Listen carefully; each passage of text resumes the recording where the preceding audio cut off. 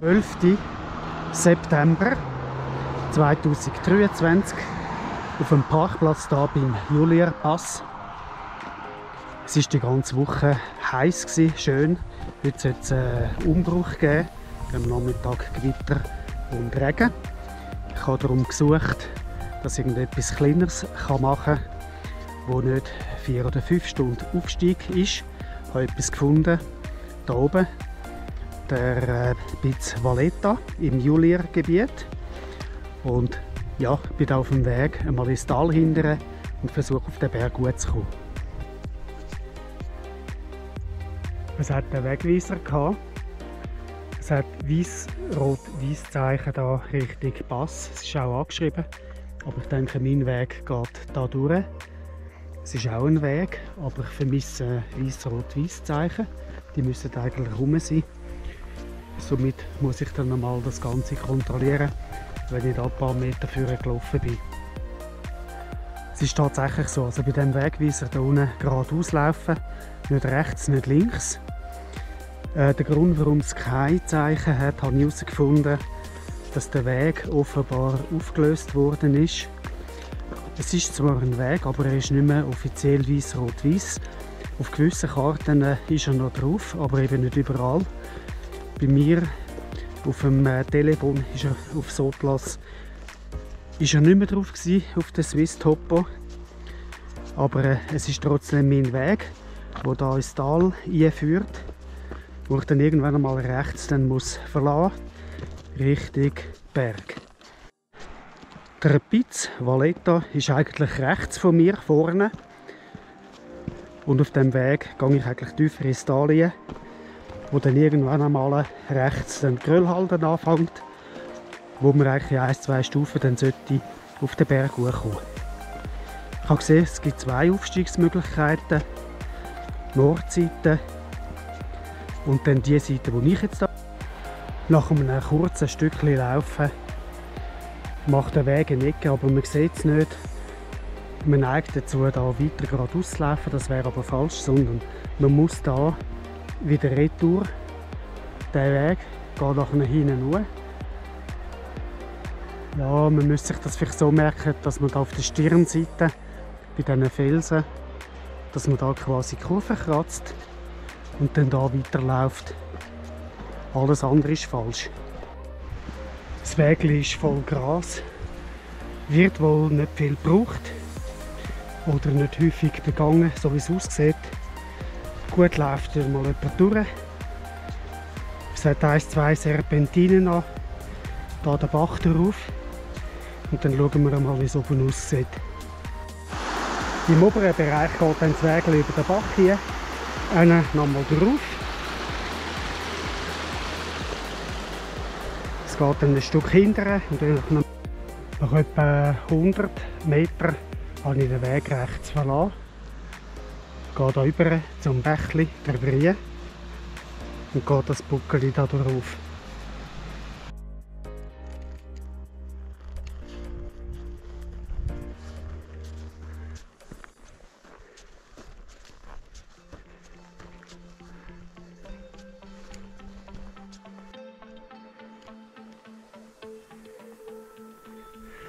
Ich laufe die Rinne drauf. Es ist ziemlich steil. Die Hangneigung stimmt natürlich auch nicht immer. Oder hat ein bestimmtes Auflösungsvermögen.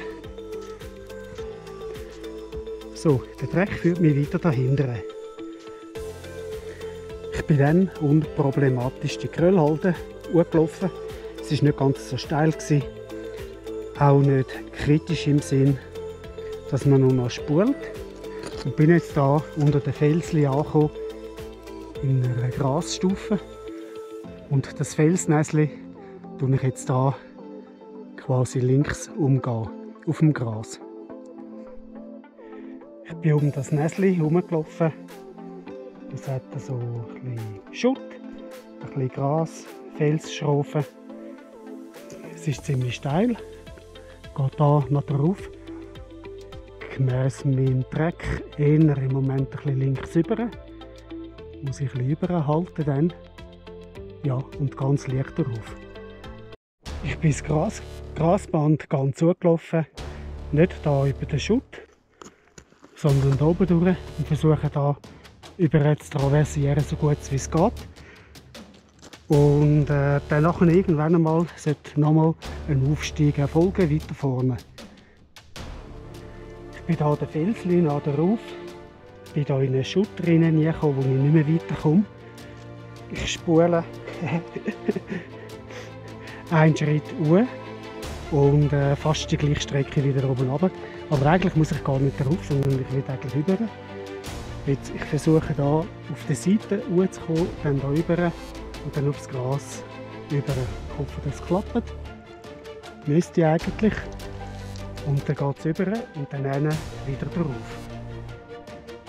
So, ich habe es geschafft. Bin hier rübergekommen. Es ist wirklich steil. Das Ganze ist eigentlich wegen dem Felsband da unten. Es hat das Felsband darum die Umgehung hier im Gröll. Das meiste ist gut, aber ein kleiner Teil ist schwierig. So, und ich glaube, es geht nochmal weiter. Da durch, gemäss meinem Dreck. Ich gehe jetzt wieder ein bisschen ab. Ich bin eben oben durch aus Sicherheitsgründen. Ich kann nicht in der Gröll halten sein, wenn unten Felsen sind. Das ist sicher nicht ratsam.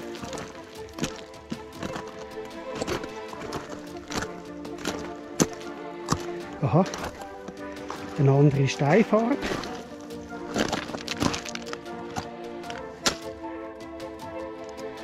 Mal schauen, was durchgeht, ob das da vorne ist oder da. Ich muss eine Wegbestimmung machen. So, das oben hat gut geklappt. Dann hier wieder Ruhe. Nächste Kröll halten. Auf den Grat. Da geht mein Dreck hoch. Ja, ich sage 50 Meter noch. Und dann geht es links hinten und dann müsste ich auch auf dem Gipfel sein. Ich komme auf einen Übergang. Es geht hier irgendwie wieder hinten runter.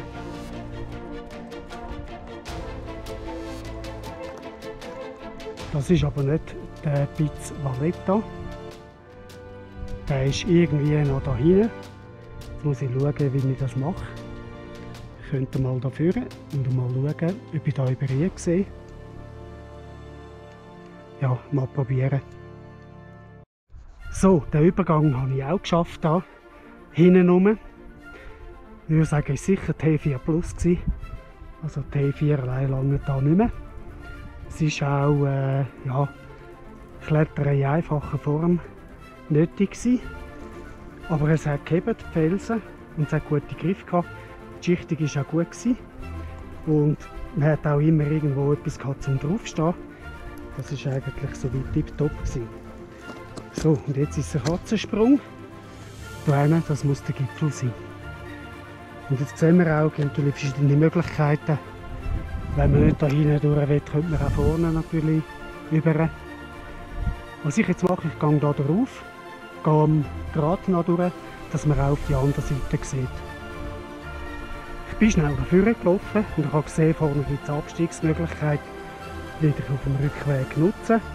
Ist einfacher, wieder so quasi dann äh, da hinten durch. Ich kann hier einen Direktabstieg machen, direkt wieder auf äh, die erste Felsstufe. Das ist natürlich zu bevorzugen. So, bald haben wir es geschafft. Es geht noch geradeaus, nochmal ein bisschen hoch.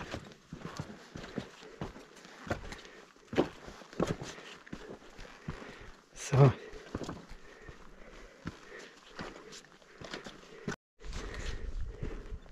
Aha. Wieder mal eine Gamelle. So, da wären wir.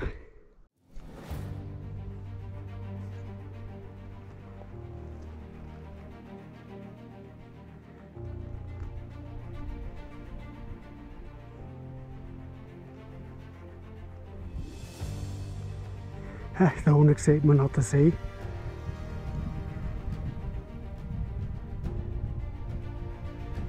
Der Grossbrüder.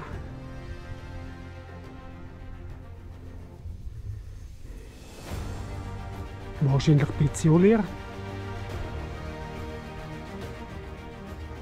Genau, und da hinten ist irgendwo Sargonda und Co.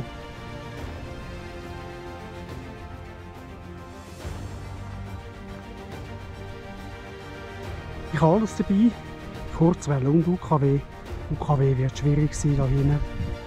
Ich werde gerade auf Kurzwelle gehen, zum Aktivieren. Ich werde aber sicher das äh, Handfunkgerät noch einschalten, falls eine lokale Station mich auch noch erreichen will. Ja, das Wetter ist bis jetzt top. Besser wieder in der Prognose. Jetzt mal schauen, ob ich da irgendwo den Masten aufstellen kann. So, Gipfeladministration habe ich erledigt. Gamelle hat statische Funktionen gehabt. Kaum habe ich sie rausgenommen, ist Steinmandel zusammengefallen. Habe ich es wieder aufbauen. Die Antenne ist auch installiert. Der Stein ist genau am richtigen Ort da. Der hat jemand angelegt, vermutlich, wo Funker war, dass man das Funkgerät genau da anstellen kann. Genau.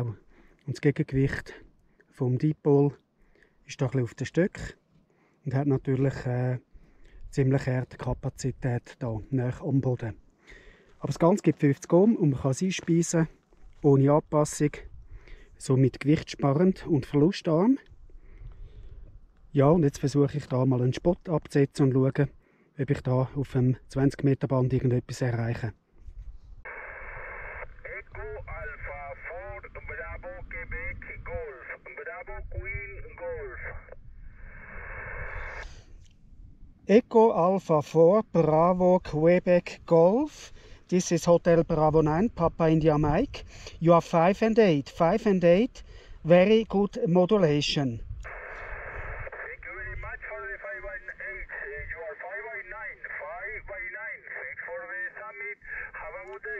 73. 73. Thank you very much.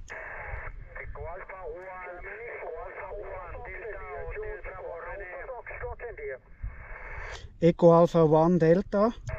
Delta Hotel Bravo. Eco Alpha 1 Delta Hotel Bravo René 56 56 Roger. QSL Ricardo QSL. You are in the log. Okay, please uh, repeat my report René. Your report is a real 9. Uh, radio 5 and a real 9. Okay, okay. En este moment 59, 59 René for Lord Spain. Good shot, good morning, Thank you bye bye. Thank you for the good report. Have 100 whiskey and uh, Yesu 857 uh, with a uh, dipole. Thank you very much for the contact.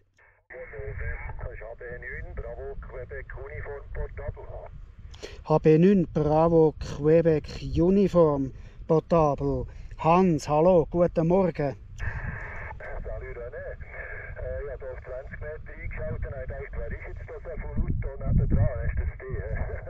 da ist das 59 plus, 59 plus. Ich bin vom Pitz Tourbahn, das ist Graubünden 201, HBGR 201, oder? Okay, okay, auf dem Pitz Turbo. Wunderbar, super, Hans. Okay, ich bin auf dem Valletta, Pitz Valletta, im Julierpass da Wunderbares Wetter noch, tipptopp, alles da bestens in Ordnung. Ja, ja, zwei, drei Viertelstunde zum Urlaufen, T4 und äh, nicht allzu kalt im Moment, ich bin im T-Shirt. Die Sonne scheint schön da und es macht noch nicht gassig, dass man gerade pressieren muss. Jetzt top aus. Ich wünsche Ihnen eine gute Aktivierung und äh, die besten 73 und schönen Tag. Salut René. Ja, super. Also auch da mit der Bodenwelle, guter Report. Äh, Im 857 geht es auch zwischen 9 es sind viele Verbindungen zusammengekommen auf Kurzwelle. Es hat gut geklappt, die Rapporte sind auch gut gewesen. Ja, und ich mache mich langsam da wieder auf den Heimweg. Es war ja eigentlich geplant, so ein als Halbtagestour hier hoch. Ich habe zwar ein bisschen länger gebraucht, wie geplant wegen dem Gelände, weil es noch ein steil war mit Gröll. Und ich werde jetzt mal den anderen Abstieg noch probieren und ich werde eine Treckaufzeichnung machen auf dem Navigationsgerät. Der alternative Abstieg. Ich denke, ich schaue das mal an. Müsste meiner Meinung nach eigentlich gehen. Von der Steilheit her geht es gerade knapp noch. und vom Gröll, denke ich, müsste das eigentlich auch funktionieren. Unten dran besteht keine Gefahr, ist es auslaufend. Ein Teil vom T4-Abstieg ist geschafft. Der Rest ist Erde, Gröll, Kies. Es geht natürlich sehr schnell da durchab. Ja, ja, lieber aber wieder nochmal schauen. Da geht es dann führen und dann muss ich schauen, dass ich da die Ecke wieder kriege. Für uns heisst das eigentlich, es gibt nichts mehr Neues. Man hat eigentlich alles gesehen hier oben. Der restliche Retourweg ist gleich. Genau, die einzige Differenz jetzt da von der Aufzeichnung ist, ich bin hier hinten hinten rum und ich habe jetzt hier den direkten Abstieg gewagt und das scheint unproblematisch zu sein. Wunderbar, hat es geklappt heute nochmal. Ja, es wird zusammengehen. Morgen kommt eine Kaltfront und es geht langsam ein bisschen zurück, das warme, schöne Wetter. Da hinten ist es eigentlich auch noch gut, vorne zum Teil regnet es bereits. Es ist etwa halb eins und ich hoffe, dass ich in einer Stunde so weit drinnen bin, dass wenn es anfangen zu regnen, mir das eigentlich nicht mehr würde tun oder mich nicht würde stören. Toll, sind wir wieder dabei gewesen, da in der Nähe vom Julierpass und ich hoffe, dass wir noch mal etwas machen können dieses Jahr, dass es noch ein paar Mal wird klappen, noch mal schön wird. Ein Haufen Berge haben wir ja, die wir noch aktivieren können. Ade miteinander.